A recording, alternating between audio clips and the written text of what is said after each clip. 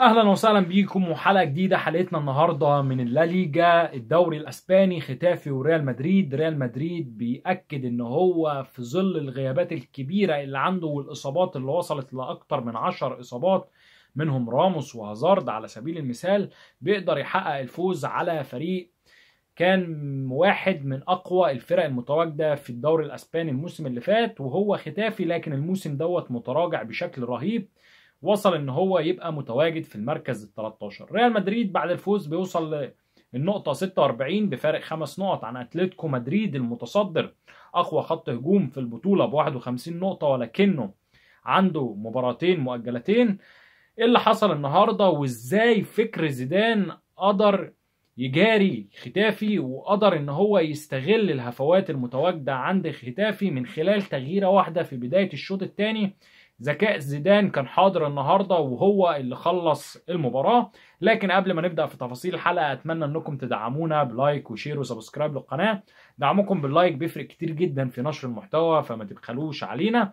لو أول مرة تشوفونا ما تنسوش تكتبوا لنا رأيكم في الكومنتات. ريال مدريد النهارده بشكل مختلف بطريقة مختلفة في ظل الغيابات.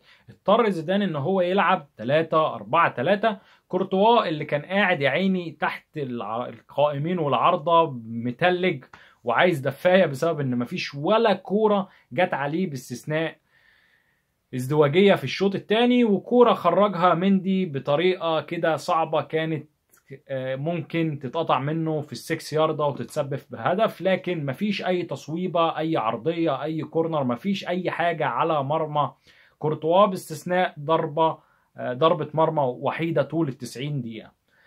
ثلاثي في خط الدفاع كان متواجد ناتشو عاد مرة تانية لدفاع ريال مدريد في ظل غياب راموس وفران صاحب هدفي الفوز في اللقاء الأخير وعلى شمال الملعب كان متواجد كقلب دفاع ثالث مندي اللي أحرز الهدف الثاني. رباعي في نص الملعب كان متواجد مارسيلو على الناحية الشمال واحد من نجوم اللقاء النهارده بتحركاته وتمركزاته في خلال ال 90 دقيقة إذا كان في نص الملعب أو حتى على يسار الملعب. في كل حتة كان متواجد مارسيلو وطالما تواجد مارسيلو في حتة أو في مركز معين اعرف إن الكورة رايحة له واعرف إن في خطورة جاية على مرمى ختافي.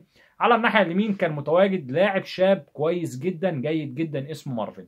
ومارفن عنده 20 سنة لاعب أسباني فاز بدوري أبطال أوروبا مع ريال مدريد للشباب.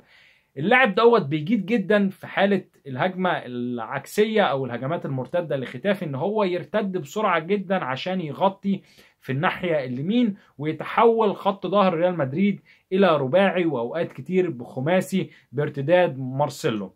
الراجل مش بس كده بيرتد دفاعيا وبيقوم بمهام الظهير الأيمن لكن في حالة استحواذ ريال مدريد على الكورة بيتحول إن هو يبقى وسط ملعب على الناحية اليمين والناحية اليمين تحسها فاضية وأخدها باسمه لكن ما كانش في حد بيبصيله طول ال 45 دقيقة الأولى بالرغم من المساحات والفراغات اللي كانت متواجدة على ناحيته لغاية ما زيدان تيقن إن هو مش هيقدر يحدث الفارق في الشوط الثاني وبالتالي سحبه ونزل أريباس.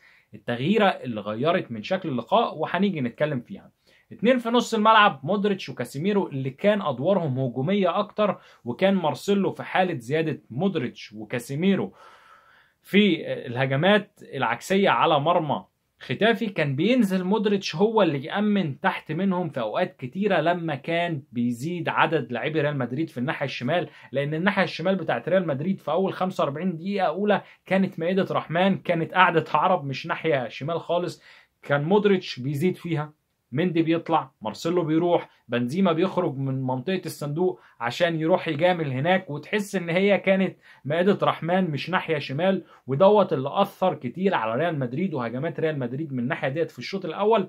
رغم إن الاستحواذ كله كان عند ريال مدريد لكن في منطقة واحدة بدون توزيع للهجمات. على الثلاثي في الخط الأمامي على الناحية اليمين كان متواجد أسينسيو على الشمال فينيسيوس جونيور اللي كان مختفي في ظل الزحمة المتواجدة في الناحية الشمال طول الشوط الأول ومهاجم صريح وهو بنزيما اللي كان بيخرج كتير. على الناحية الثانية ختافي الحقيقة كان بيلعب جيم دفاعي لكن مش الدفاعي اللي هو صرف لأن ريال مدريد لو كان مركز في الأول 45 دقيقة الاولى كان قدر يروح كان قدر يستكشف أكتر الثغرات المتواجدة في دفاعات ختافي. من خلال ان ريال مدريد مركز كل لعبه وتركيزه كان على الناحية الشمال بالرغم من ان عمق دفاعات ختافي كانت فاضية. اي لاعب كان بيروح من منطقة نص الملعب من ريال مدريد كان يقدر يهدد.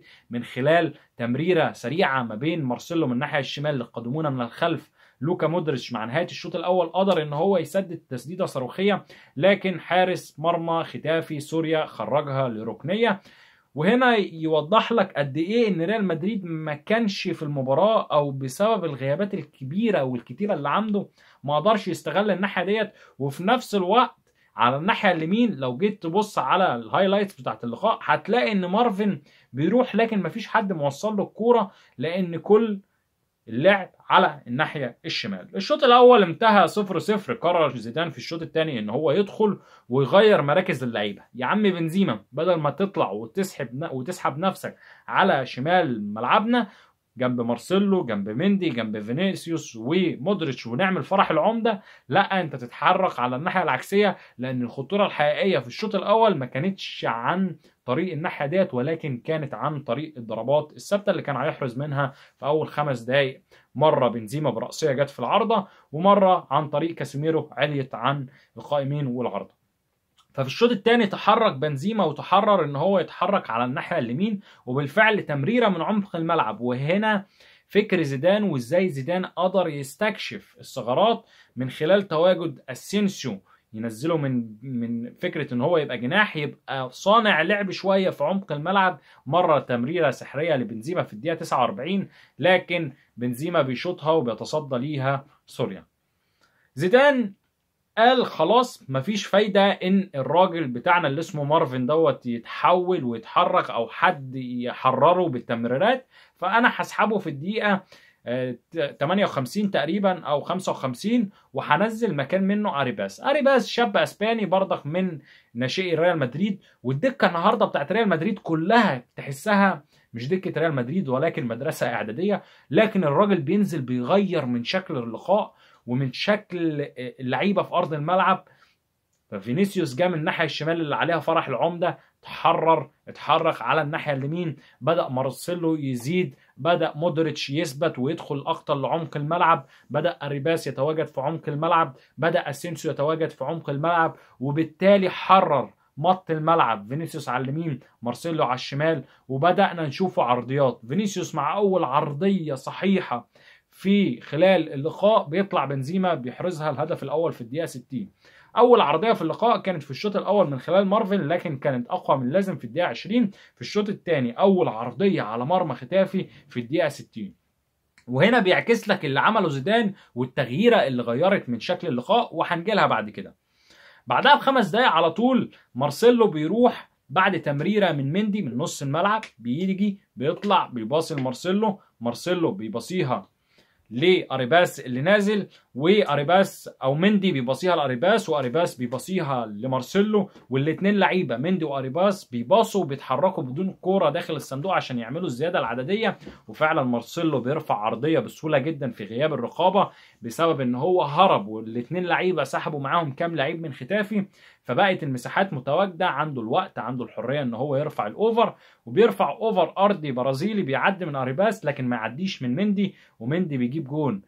فينيسيوس بيصنع بنزيما بيحرز مارسيلو بيرجع بيصنع ومندي بيحرز فريال مدريد النهارده فايق لكن المشكلة الأكبر كانت بعد خروج أسينسيو ونزول إسكو اللي نزل وادى الاستحواذ لختافي تحس إن ختافي سرق الاستحواذ في الوقت دوت. بعدها على طول ب 10 دقائق تقريبا بيخرج مارسيلو وبينزل مكان منه. واحد شاب من شباب مدرسة ريال مدريد اسمه شيست. ولكن شفنا لقطة زيدان متعصب بسبب إن مارسيلو اتصاب دخل مستشفى ريال مدريد جنب فاسكيز وراموس وهازارد. وأخيرا مارسيلو مش عارفين هيرجع إمتى. لكن التغييرة اللي غيرت من مجرى اللقاء هي أريباس. إيه اللي عمله أريباس؟ غير من شكل اللقاء ونتيجة اللقاء. ثلاث حاجات عملها زيدان بتغيير اريباس أول حاجة فض فرح العمدة وغيط الغفير ومائدة الرحمن المتواجدة في الناحية الشمال من خلال تحريك فينيسيوس جونيور على الناحية اليمين وبالتالي لقى أريحية فضى الناحية الشمال لمارسيلو فلقى راحة وفي نفس الوقت ركز عملياته مط الملعب بفينيسيوس مارسيلو وفضى منطقة عمق الملعب لواحد زي أسينسيو واحد زي أريباس واللعيبة القادمون من الخلف زي مودريتش أو كاسيميرو. فبالتالي لقى لعيبة ختافي نفسهم تايهين مش عارفين يمسكوا مين ولا مين. بقى فريق ريال مدريد عامل زي الجيلي عامل زي قنديل البحر عامل زي مثلا الاسفنج تمسكه من حتة هيمط من الحته الثانية زي المطاط ودوت اللي حصل جونين ريال مدريد من على الناحية اليمين عرضية من على الناحية الشمال عرضية من خلال تمريرات من عمق الملعب. ريال مدريد بيرجع مرة تانية برغم الغيابات والإصابات والهجوم الكبير من ال social media على زين الدين زيدان والأخبار اللي بتقول إن زيدان مش هيكمل بيرجع وبيفوز وبيقتنص المركز الثاني ورا أتلتيكو مدريد المتصدر بفرق خمس نقط. ونفس سيناريو الموسم اللي فات. ناس كتير كانت بتهاجم قبل التوقف بسبب كورونا. زيدان وزيدان خلاص هيمشي وريال مدريد مش هياخد الدوري. بيرجع في آخر 13 أو 14 جولة يكسب كل مبارياته ويحصد لقب الليجا دوت كان رأيي. أتمنى أشوف آرائكم في الكومنتات. لو عجبتكم الحلقة ما تنسوش تعملوا لنا like و share و subscribe للقناة. وسلام.